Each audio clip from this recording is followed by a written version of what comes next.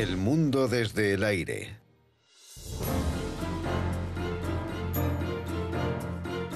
Inglaterra.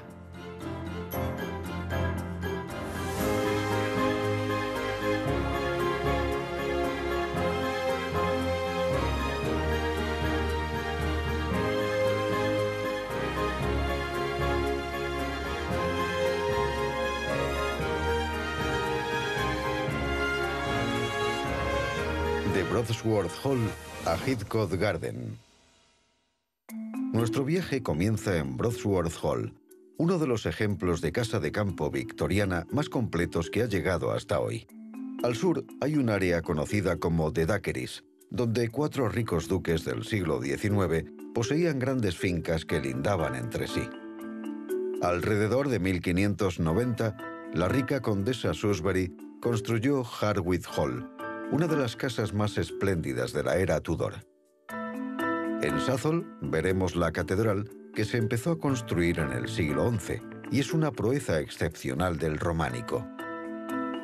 El Gran Ferrocarril Central es la única vía histórica de doble sentido del Reino Unido, donde se pueden ver locomotoras de vapor pasando una al lado de la otra.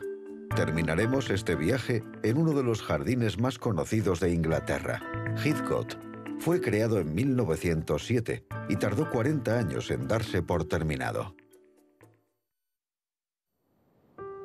En el sur de Yorkshire está Broadsworth Hall, uno de los ejemplos de casa de campo victoriana más completos de Inglaterra.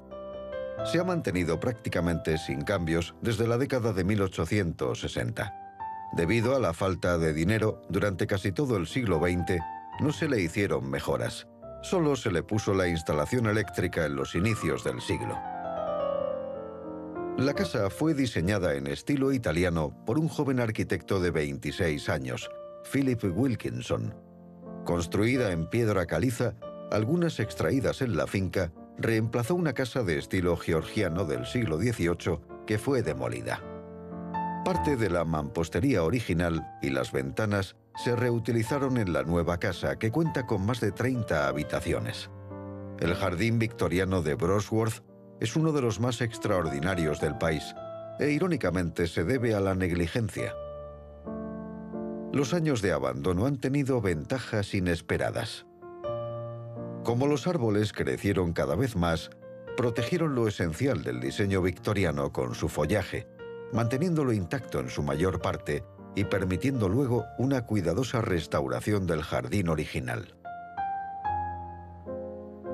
La hija del último propietario luchó durante 57 años contra las goteras del tejado y la pérdida de terreno a causa de la minería. Terminó cediendo la casa al Estado para que la mantuviera. Al sur, en el condado de Nottinghamshire, se encuentra The donde en el siglo XIX cuatro fincas ducales lindaban unas con otras. Eran los duques de Portland, en Welbeck Abbey, los duques de Newcastle, en Clamber Park, hoy demolido, los duques de Norfolk, en Worshop Manor, hoy parcialmente demolido, y los duques de Kingston, en Thorsby Hall, que hoy es un hotel. Estos cuatro duques eran inmensamente ricos y construyeron grandes mansiones. El duque de Portland reconstruyó la abadía de Welbeck y no escatimó en gastos. Solo el huerto ocupaba casi nueve hectáreas. Este duque poseía caballos de carreras y construyó un hipódromo cubierto que era uno de los más grandes en el mundo. En la década de 1880, el duque ganó con las carreras de caballos el equivalente a unos 40 millones de euros a día de hoy. Era conocido como el duque madriguera por su obsesión de construir túneles para conectar la casa con los establos y la creación de un gran salón subterráneo. Durante la Primera Guerra Mundial, la casa se convirtió en un hospital militar y después de la Segunda fue cedida al Ministerio de Defensa que lo usó como escuela militar hasta 2005. Hoy pertenece de nuevo a un particular y sus múltiples edificios tienen nuevos usos. Los duques de Newcastle vivieron en Clamber Park hasta que la casa fue demolida en 1938. En 1879, el séptimo duque de Newcastle hizo una mansión todavía más grande en estilo neoclásico tras un incendio.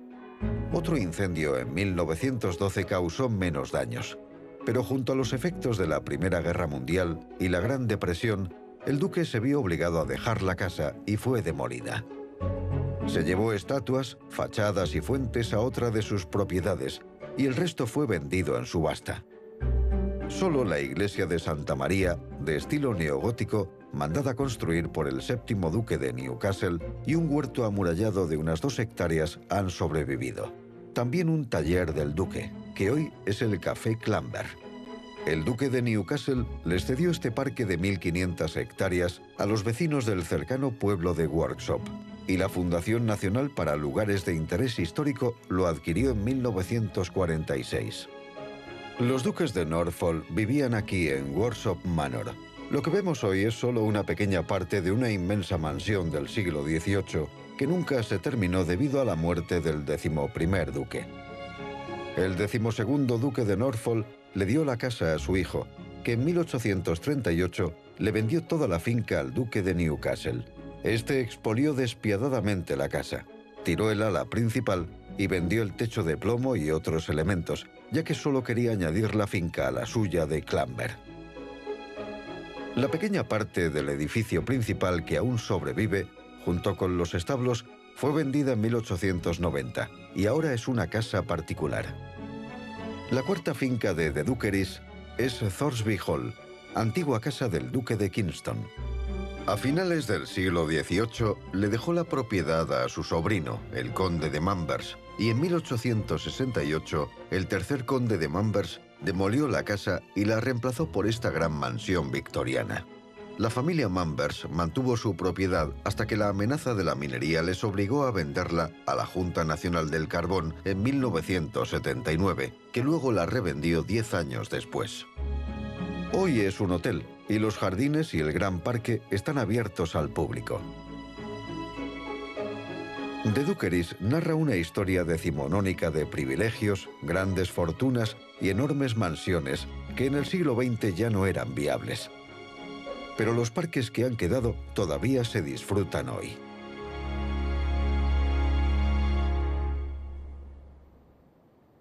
Encaramado en la cima del emplazamiento de una fortaleza medieval, está el castillo de Bolsover, un extraordinario retiro aristocrático del siglo XVII. Sir Charles Cavendish quiso construir un pequeño castillo que evocara una gran torre normanda que había aquí 600 años antes. Murió cuando el castillo estaba casi acabado y su hijo William asumió la tarea. Añadió varios edificios que ahora se encuentran en ruinas. Durante la Guerra Civil de mediados del siglo XVII, los parlamentarios tomaron el castillo y casi lo destruyeron. William Cavendish se exilió y regresó con la restauración del rey Carlos II en 1660. Luego restauró el castillo y le agregó nuevos edificios y un hipódromo. Su hijo, Henry Cavendish, abandonó el castillo y otra vez quedó en ruinas. Durante el siglo XIX fue alquilado y se utilizó como vicaría. Los efectos de la minería y la contaminación se sumaron a su decadencia hasta que en 1946 fue adquirido por el Ministerio de Obras, que estabilizó y reparó el edificio. El castillo de Bolsover es un edificio único de importancia nacional, por lo que hoy pertenece al patrimonio inglés.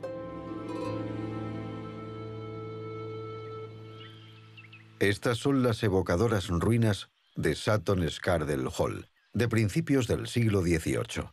Es un recordatorio de lo que le puede suceder a una casa fabulosa cuando no se cuida y se vende a personas que no tienen más interés que llevarse cualquier cosa útil. Y en 1919, después de años de abandono y sin interesados en comprar una casa tan grande, la adquirió un grupo de empresarios locales que vendieron todos los elementos útiles, incluido el tejado. Algunas partes fueron enviadas a Estados Unidos, ya que William Randolph Hearst, el magnate de la prensa, compró los paneles de roble de una habitación. Los quería para el castillo de Hearst, en California. Finalmente, un filántropo compró Sutton Scardell para preservar la estructura, arquitectónicamente significativa aunque lo mantenga en ruinas.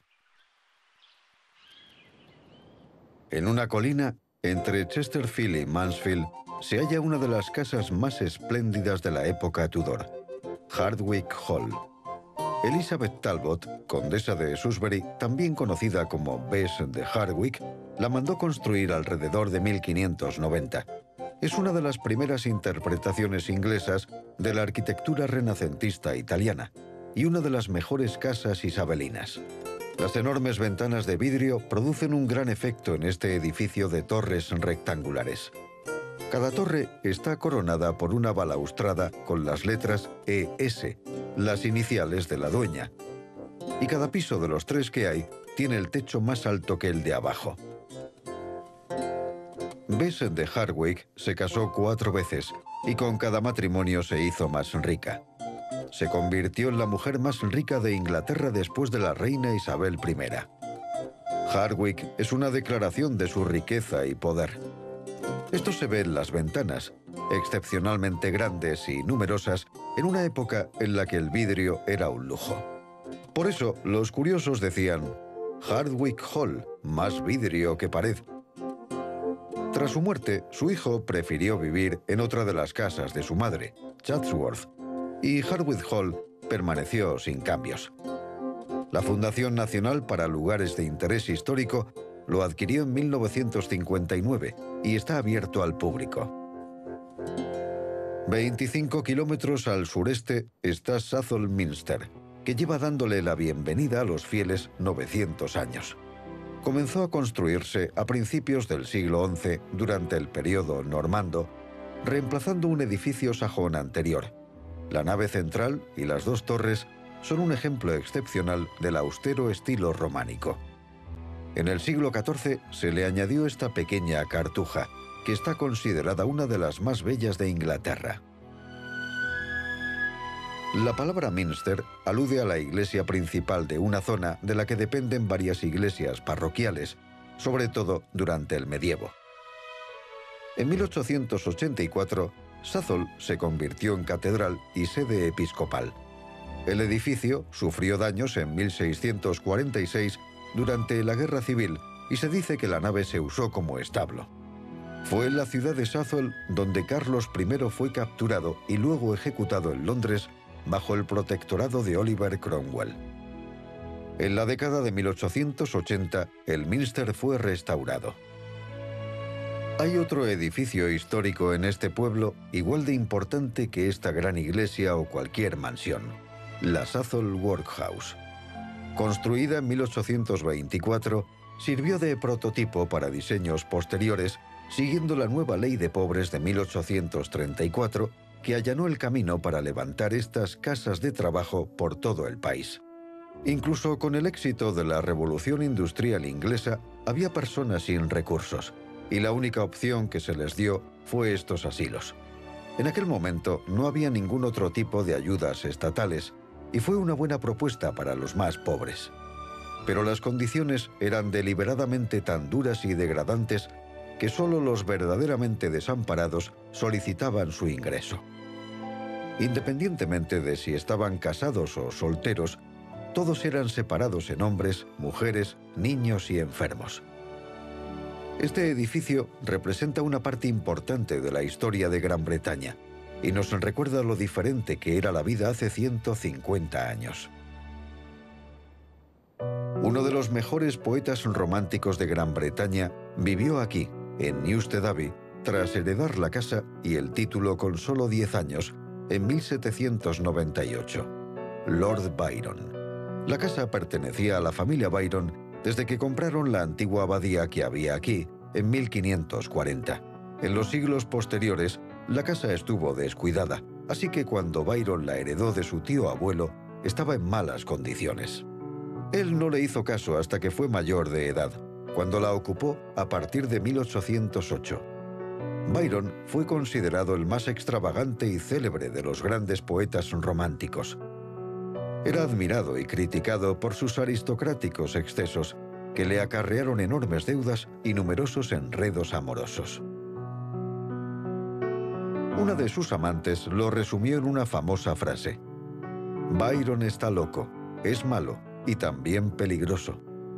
En 1816, tras varios escándalos y el aumento de sus deudas, dejó Inglaterra para siempre y murió de unas fiebres en Grecia en 1824 con solo 36 años. A las afueras de la ciudad de Nottingham y rodeada por un gran parque vemos Gulanton Hall. Esta magnífica casa Tudor la diseñó el mismo arquitecto que hizo Hardwick Hall.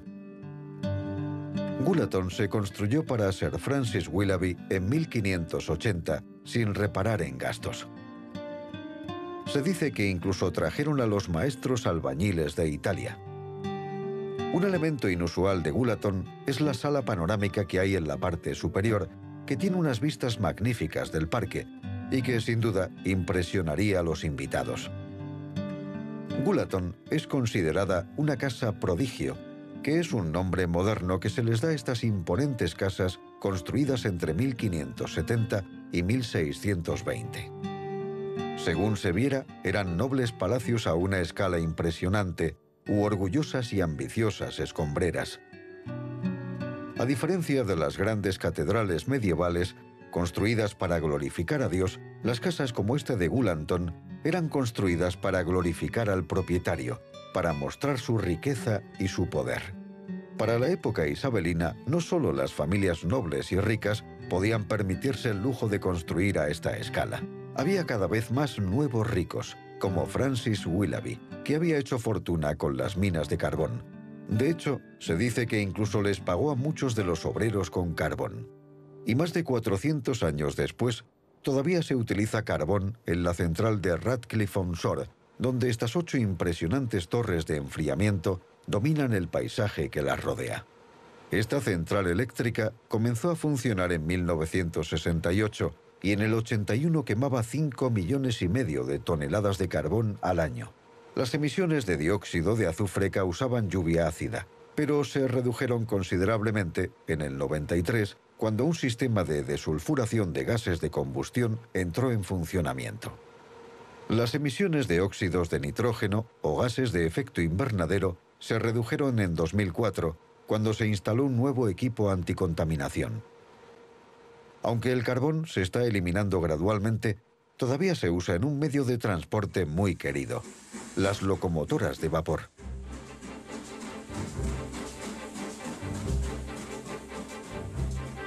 Este es el Gran Ferrocarril Central, la única vía de doble sentido del Reino Unido que forma parte del patrimonio histórico. Es el único lugar del mundo donde se pueden ver dos locomotoras de vapor pasando una al lado de la otra, tal como era en su origen. La historia del Gran Ferrocarril Central se remonta a los primeros días del ferrocarril en Manchester a mediados del siglo XIX, cuando una empresa regional proyectó llevar una de sus líneas hasta Londres y le puso el nombre de Gran Ferrocarril Central. En 1948, toda la red ferroviaria fue nacionalizada y en la década de 1960 se abandonó una gran parte, ya que no resultaba rentable. En 1969, la vieja línea del Gran Ferrocarril Central fue clausurada. Pero casi de inmediato, un grupo de entusiastas comenzó a mantener una pequeña sección de la vía en funcionamiento, como línea histórica. Hoy, estas locomotoras recorren 13 kilómetros y son una atracción turística muy popular. Con raras excepciones, la mayoría de los castillos medievales están en ruinas, como Kirby Maxlow, en la ciudad del mismo nombre. Pero este castillo nunca fue abandonado. En realidad, no se terminó. Iba a ser el castillo fortificado y la casa señorial con foso de Lord Hastings, que comenzó a construirlo en 1480. Pero en ese momento se libraba la guerra de las dos rosas, donde dos facciones rivales se disputaban la corona. Por desgracia, Lord Hastings eligió el bando equivocado y fue ejecutado en 1483. Su viuda continuó con el proyecto tras su muerte, pero pronto dejó el empeño y el castillo quedó sin acabar en su mayor parte. Algunas partes fueron habitadas durante un tiempo, pero fueron abandonadas en el siglo XVII. Hoy está protegido por el gobierno, ya que se considera un espectacular ejemplo de castillo medieval tardío de los más interesantes. En 1485, en los campos de Leicestershire, tuvo lugar la batalla que cambió el curso de la historia de Inglaterra. La batalla de Bosworth fue la última batalla significativa de la Guerra de las Dos Rosas, el enfrentamiento entre la Casa de Lancaster y la de York. La batalla la ganó la Casa Lancaster. Su líder era Enrique Tudor, conde de Richmond, que sería el primer monarca inglés de la dinastía Tudor. Su oponente, Ricardo III, el último rey de la Casa de York, murió en la batalla. Enrique Tudor tenía unos 5.000 hombres y el rey Ricardo tenía casi el doble de soldados. La batalla se decidió gracias a un tercer ejército de 5.000 hombres, liderados por Lord Stanley y su hermano Guillermo. Ambos contuvieron a sus tropas antes de decidir a qué bando les convenía apoyar. Como eligieron la casa de Lancaster, permitieron que la dinastía Tudor subiera al trono. Inmediatamente después de la batalla, Enrique fue coronado con el nombre de Enrique VII. En los años 70 se construyó aquí un centro de visitantes para contar la historia de la batalla, pero investigaciones recientes han demostrado que la batalla pudo haberse librado a unos 3 kilómetros, aunque los historiadores continúan en desacuerdo. En las afueras de Birmingham está Baddesley Clinton, que ha sido el hogar de la familia Ferrers durante 500 años. Hoy la casa y el parque están protegidos como lugares históricos y abiertos al público. Baddesley Clinton se considera la perfecta mansión del medievo tardío. Tenía una cuarta sección en el lado oeste, por lo que la planta era cuadrada, pero fue demolida en el siglo XVIII. Durante el periodo Tudor, en el siglo XVIII, con la división entre católicos y protestantes, la familia Ferrers permaneció fiel a la fe católica. Por eso, Baddesley Clinton tiene tres cámaras secretas para ocultar a sacerdotes. Fueron construidas para auxiliar a sacerdotes católicos en un momento en que eso hubiera significado la prisión o incluso la muerte.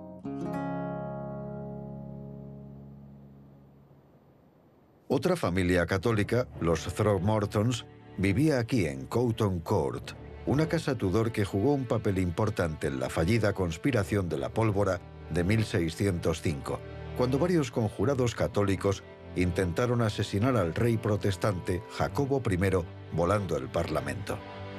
Es uno de los momentos más famosos de la historia inglesa y se recuerda cada 5 de noviembre con la tradición de la noche de Guy Fawkes, cuando se quema la efigie de este conspirador. Coughton Court estaba estrechamente vinculada a la conspiración de la pólvora, ya que cuatro de los conspiradores eran parientes de los Throckmortons, y fue en la garita de entrada donde la familia y los demás conspiradores recibieron la noticia de su fracaso al día siguiente. Todos los conspiradores fueron asesinados, encarcelados o sufrieron una ejecución horrible en público terminamos este viaje en un lugar menos dramático, en uno de los jardines más conocidos de Inglaterra, Heathcote. Su creador fue Mayor Johnson, quien comenzó a trabajar en él en 1907. Cuando se mudó aquí no había jardín, solo unos pocos árboles crecidos. Pasó los siguientes 40 años creando el jardín que vemos hoy. Está diseñado como una serie de estancias al aire libre cada una con su propio carácter, separadas por setos y muros. El jardín es famoso por sus árboles, arbustos y plantas extrañas traídas de otros países. Cada sector tiene especies que florecen en diferentes épocas del año, por lo que visitar Heathcote es siempre un placer. Un jardín cubre poco más de 4 hectáreas de terreno suavemente inclinado y en sus zonas exteriores tiene vistas cuidadosamente planificadas del Valle de Isham. El eje central del jardín son estos dos pabellones, en la intersección de los ejes norte y sur, este-oeste. En 1948, el comandante Johnson se retiró a Francia y cedió la finca de Heathcote al gobierno. Hoy es un lugar muy conocido y se llena de visitantes los fines de semana de verano. Un hermoso lugar donde terminar nuestro viaje.